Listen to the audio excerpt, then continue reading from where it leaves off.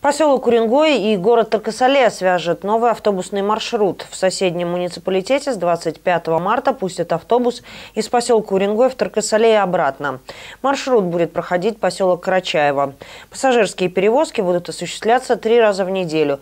В понедельник, среду и в пятницу, сообщает Северпресс.